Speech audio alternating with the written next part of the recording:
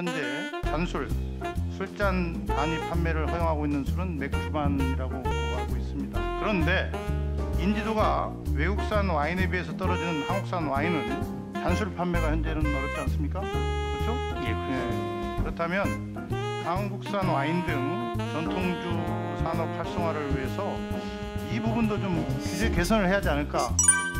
승하님, 뭐 최근 국세청에서 한국 와인 등 전통주를 생산하는 소규모 영세 업체를 뭐 지원하는 다각적인 일들을 하고 있다고 해서 저는 고무적이라고 생각합니다. 또본 의원이 확인한 바로는 현재 잔술, 술잔 단위 판매를 허용하고 있는 술은 맥주만이라고 알고 있습니다. 그런데 인지도가 외국산 와인에 비해서 떨어지는 한국산 와인은 잔술 판매가 현재는 어렵지 않습니까? 그렇죠? 예, 그렇습니다. 예. 그렇다면 한국산 와인 등 전통주 산업 활성화를 위해서 이 부분도 좀 규제 개선을 해야 하지 않을까 그런 생각을 하게 됩니다.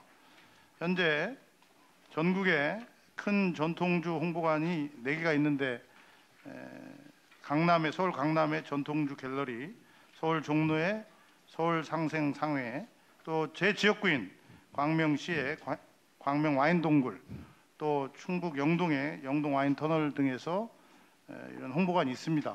그래서 적어도 한국 와인의 경우에 관광객이나 이 소비자들이 한 번도 보거나 마셔본 적이 없어서 덜컥 사기가 좀 이렇게 꺼리는 경우가 있습니다. 현장에서 보면 그래서 저는 에, 한국 와인 등 전통주 활성화를 위해서 이 적어도 홍보관에서 와인의 전통주의 잔술 판매를 허용한 그런 좀 음, 규제 개선을 해야 한다 이렇게 생각하는데 어떻게 생각하십니까?